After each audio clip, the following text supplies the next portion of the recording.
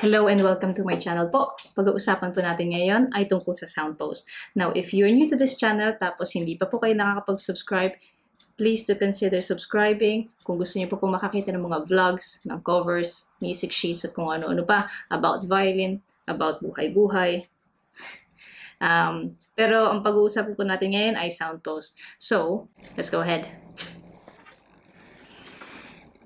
Before we start today's episode, I would like to thank and give a huge shout out to Boy Hapay. Maraming maraming salamat po sa inyong mga tips and um, sa support. Looking forward sa ating collaboration. And maraming maraming salamat po Filipino Online Grocery Store, um, Edin Laden, and Lookbox. So links nasa description po. Eto na, let's go!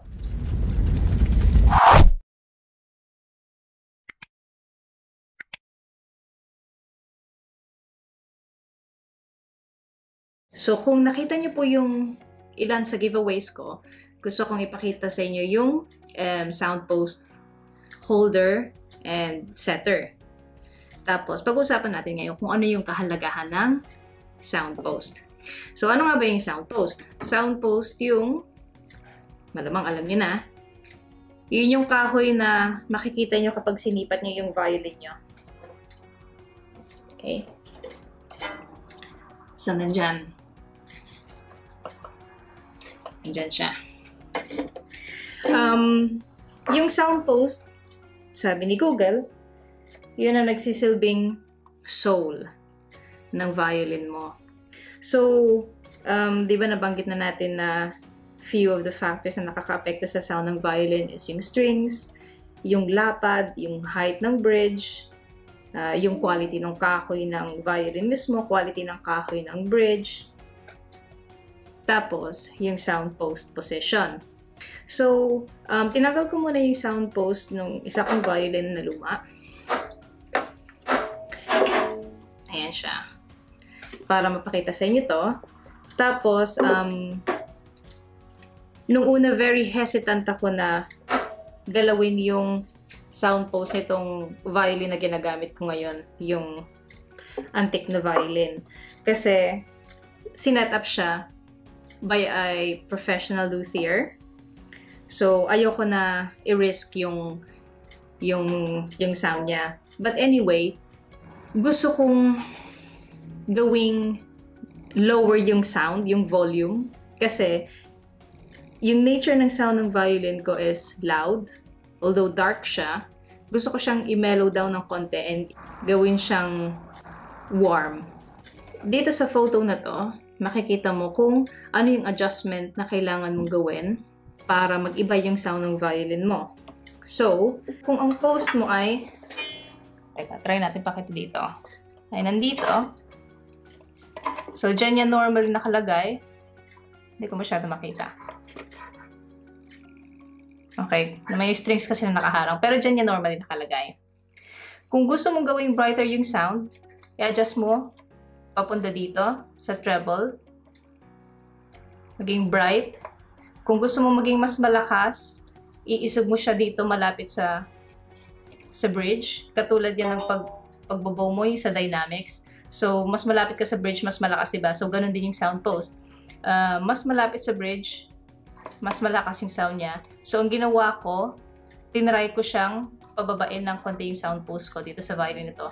Pero just before this video, binalik ko muna siya kung saan siya originally nakalagay para iparinig ko yung sound difference. Although hindi ko alam kung gaano, kara, uh, gaano kalakas yung makakapture ng, ng video. Pero anyway, paparinig ko lang kung ano yung kayo nyong marinig sa sa G string. Kasi doon ako, for most of the violins, parang nandyan yung treble, minsan muddy, minsan hindi po. Ang na-notice ko sa violin ko, yung G string niya is Well, ngayon malakas siya. Pero, alam mo parang may, may extra sound na muddy. Tapos, yun ang tinry kong baguhin. So, syempre, mas maganda niyan kung meron experience na yun ang gagawa ng o magsa-setup ng violin nyo. Pero in my case, um, kailangan ko maging resourceful. So, binili ko to. Kaya lang naging extra na lang to. So, ang ginawa ko nung una ay, uh, nilusan ko yung A and E strings para lumuwag yung yung pressure dito sa may um, bridge. Teka, bago ko pala alugang, ilalagay ko muna yung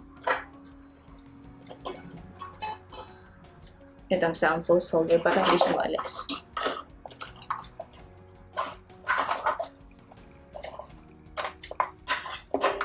Okay, once na nakasecure na siya, so more or less, makikita mo yung kung saan siya nakatapat. Depending dun sa kung saan yung, yung block nito. Kasi naka, ano siya dun, nakaturo siya. Okay, so ang ginawa ko, inisog ko lang siya ever so slightly, siguro mga 1 mm or less papunta sa left, papalayo sa bridge.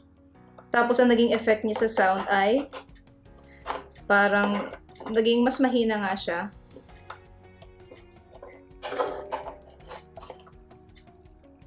Tapos, naging mas buo yung G ko na hindi masyadong dark.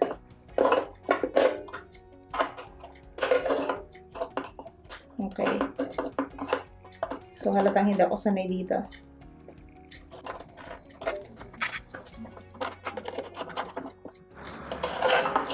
Busog na siya. So, parang nagpunta siya sa bass side. So, kapag inilay, pag yung pulse nyo ay medyo inilapit nyo doon sa bass side, mas magiging buo yung um, yung mga mas mabababang notes. Lagay ko lang dito mga konti.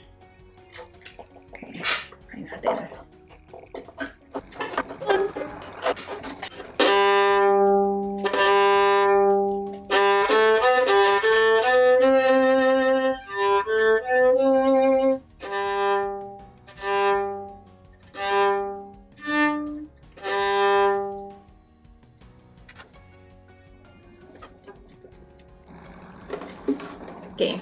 So, syempre, hindi ko i-advise na nagagawin nyo to on your own. Kasi baka lalong pasama yung sound ng violin. Pero, um, kung mag attend kayo, make sure na straight yung sound pulse nyo. So, hindi, hindi straight yung pagkakagawa ko. Ulitin ko lang siya.